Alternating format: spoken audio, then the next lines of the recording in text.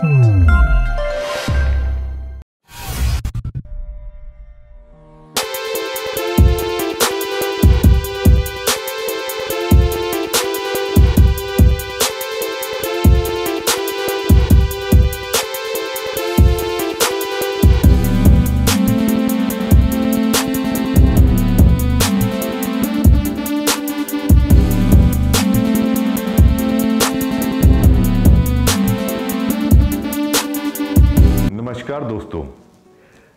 मैं आपसे किसी एक ऐसे टॉपिक पे बात करूँगा, जिसके लिए आप कभी ना कभी, उसके इलाज के लिए किसी ना किसी हॉस्पिटल में अपने मम्मी, डैडी, अपने दादा, दादी या किसी और अन्य व्यक्ति के लिए या तो कभी गए होंगे या ज़िंदगी में आपको कभी जाना पड़ेगा।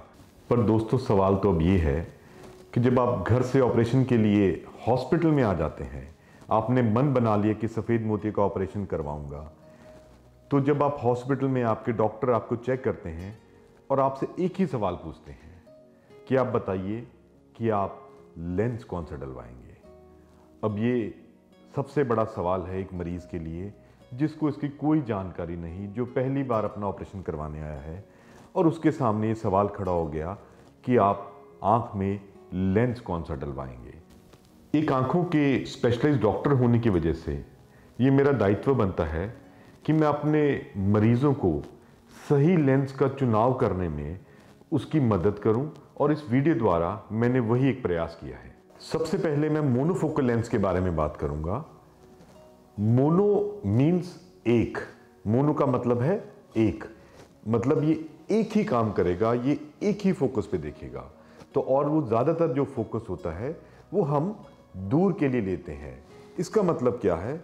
इसका मतलब ये हुआ कि मोनोफोकल लेंस डलवाने के बाद एक आदमी को दूर के लिए तो साफ़ दिखेगा, उसको चश्मे की तकरीबन अपने 80 से 90 प्रतिशत काम के लिए चश्मे की ज़रूरत नहीं पड़ेगी, पर नज़दीक का कोई भी काम करना हो, जैसे कि आपने अखबार पढ़नी है, कोई किताब पढ़नी है, कोई मोबाइल के नंबर देखने हैं तो उसके लिए आपको तकरीबन दो से तीन नंबर के बीच का चश्मा हर बार उठा के लगाना पड़ेगा।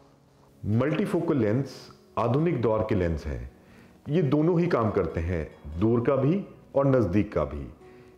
ये लेंस डालने के बाद कोई भी मरीज़ अपने दूर और नज़दीक के 80 से 90 प्रतिशत काम बिना चश्मे के कर सकता है। हाँ 10 प्रतिशत काम के लिए उसको चश्मे की ज़रूरत पड़ सकती है, पर ज़्यादातर उसको इसकी ज़रूरत नहीं पड़ती है। मल्टीफोकल लेंस में एक कदम आगे चलते हैं। मल्टीफोकल एक है बाईफोकल और एक है ट्राईफोकल तीसरा और कैटेगरी है E D O F extended depth of focus lenses so पहले मैं बाईफोकल लेंस की बात करता हूँ। जैसे कि उसका नाम ही बताता है, ये दो काम करते हैं। एक, दूर का, दूसरा, नज़दीक का। दूर के लिए आपको चश्मे की ज़रूरत नहीं है, पर 10 प्रतिशत काम के लिए आपको चश्मे की ज़रूरत फिर भी रहती है। जैसे कि आपने क्रिकेट का स्कोर देखना हो टीवी के ऊपर, या कोई ऐसी दूर की बहुत बारीक चीज़ हो, पर आपके आमतौर ज़िंदगी के 90 प्रतिशत काम चश्मे के बिना हो जाते हैं। इसी तरह नज़दीक का कोई भी काम करना है तो आपको चश्मा ढूँढने की ज़रूरत नहीं है। पर अगर आप कहेंगे, मैं कमरे के अंदर बैठकर अखबार भी पढ़ लूँ तो शायद वो मुमकिन ना हो। पर अगर आप बाहर खड़े हैं तो वहाँ बाईफोकल लेंस डलवाने के बाद आप शायद अखबार भी पढ़ पाए। जैसे कि हम सब जानते हैं कि हर एक अच्छी चीज़ के साथ कुछ बुरा भी तो आता है। इसी तरह हमारे जो बाईफोकल लेंस हैं, वो हमें दूर और नज़दीक दोनों से, चश्मे से छुटकारा तो दिलवा देते हैं, पर उनमें एक कमी है। वो क्या है कि जब आप रात को गाड़ी लेके निकलते हैं, जो सामने लाइट पड़ती है दूसरी गाड़ी की, या किसी पोल के ऊपर लाइट है तो वो हमें थोड़ी फैली हुई दिखाई देती है। जिसको हम ग्लेयर एंड हेलोज बोलते हैं लाइट के अराउंड चक्कर बनना। और दूसरी एक छोटी सी कमी और भी है, मैं शायद कमी नहीं कहूँगा, पर जो इसमें कंट्रास्ट आता है, यानी कि किसी भी अगर आप काली चीज़ को सफ़ेद के अगेंस्ट रखेंगे तो जो उसका रंग है, वो थोड़ा सा हल्का दिखता है, एक बाईफोकल लेंस के बाद। तो चश्मा उतारने की ये छोटी सी कीमत हमें बाईफोकल लेंस में देनी ही पड़ती है। पर ज़्यादातर लोग जो गाड़ी कम चलाते हैं, जो घर पे रहते हैं, जैसे हाउस वाइफ्स हैं, जैसे टीचर्स हैं या मैं ये कहूँ कि जो हमारी महिलाएँ हैं, उनके लिए ये एक सस्ती और बेहतरीन ऑप्शन है। बाईफोकल से एक कदम आगे, अब हम चलते हैं ट्राईफोकल्स की जानकारी लेने। जैसे कि फिर आप समझ पा रहे हैं कि ट्राईफोकल मतलब तीन। तीन ऐसे कौन से तीन काम हैं? पहला काम दूर का, दूसरा नज़दीक का तो ये तीसरा क्या हुआ? तीसरा हुआ हमारा कंप्यूटर, लैपटॉप्स। हमारे जितनी ये बाजू की लंबाई है, इतनी दूरी पे कोई भी चीज़ होती है, उसको देख पाना। तो इसको हम बोलते हैं इंटरमीडिएट विजन बीच की नज़र।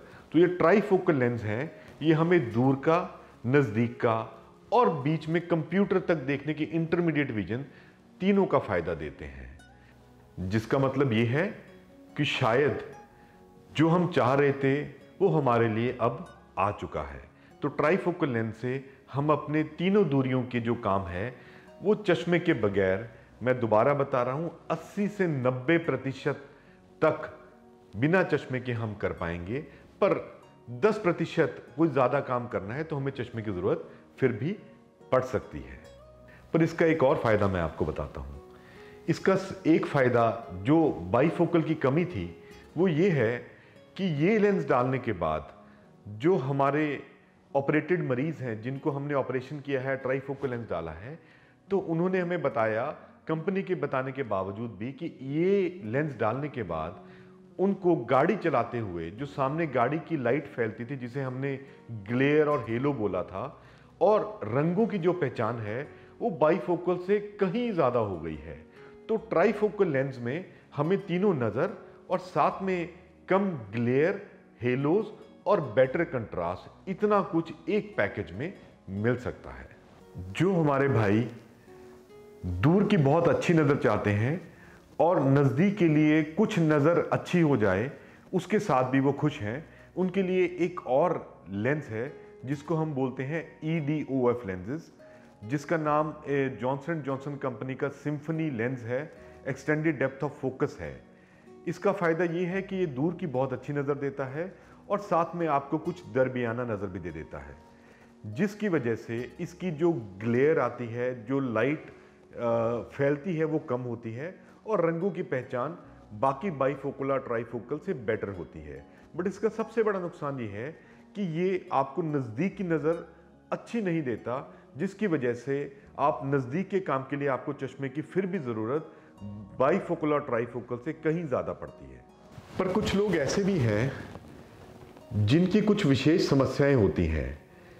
उनकी जो पुतली है, वो पूरी गोल ना होने की वजह से उनके पुतली के ऊपर एक सिलेंड्रिकल नंबर, जिसको हम तिरछा नंबर बोलते हैं उसको हमारी भाषा में एस्टिगमेटिज्म भी कहा जाता है, वो होता है। अब जब इन मरीजों को हम कोई भी नॉर्मल मोनोफोकल बाईफोकल या ट्राईफोकल लेंस डालें तो उनके बाद भी उनको चश्मे की ज़रूरत हर समय पड़ेगी ही। तो इसका हल क्या है? तो हमारे वैज्ञानिकों ने एक नए तरीके का लेंस निकाला, जिसको हम टोरिक लेंस बोलते हैं। टोरिक लेंस इस समस्या का समाधान है। जिन मरीजों का पुतली के ऊपर सिलेंड्रिकल या तिरछा नंबर है, उनके लिए चश्मे के बिना अपनी ज़िंदगी गुजारने के लिए एकमात्र हल है और वो है टोरिक लेंस टोरिक लेंस डालने के बाद मरीज़ को चश्मे की ज़रूरत नहीं पड़ती है। अगर वो टोरिक ट्राईफोकल डालता है, अगर वो टोरिक बाईफोकल डालता है तो उसको इंटरमीडिएट विजन के लिए ज़रूरत पड़ेगी और अगर वो टोरिक मोनोफोकल डालता है तो उसको दूर का तो साफ़ दिखेगा चश्मे के बगैर बट उसको कंप्यूटर देखने के लिए और नज़दीक का पढ़ने के लिए चश्मा फिर भी लगाना ही पड़ेगा।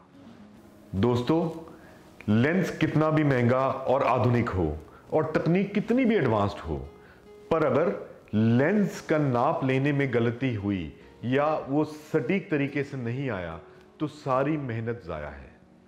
दोस्तों लेंस डालने की इस पूरी प्रक्रिया में, आपके लेंस का सही चुनाव करने के लिए हमारे पास मैक्स हॉस्पिटल बठिंडा में आधुनिक विदेशी मशीनें हैं, जिससे हम ना सिर्फ़ आपकी आँख के लेंस का सही चुनाव करते हैं, बट उसकी जो नंबर निकालने की प्रक्रिया है, उसको भी पूरी तरीके से कारगर करते हैं, जिसकी वजह से हम आपको एक बेहतरीन नज़र का तोहफा दे पाते हैं।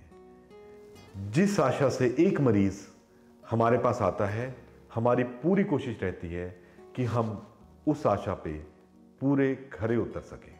और आपको आपकी नज़र का खूबसूरत तोहफा भी दे दें।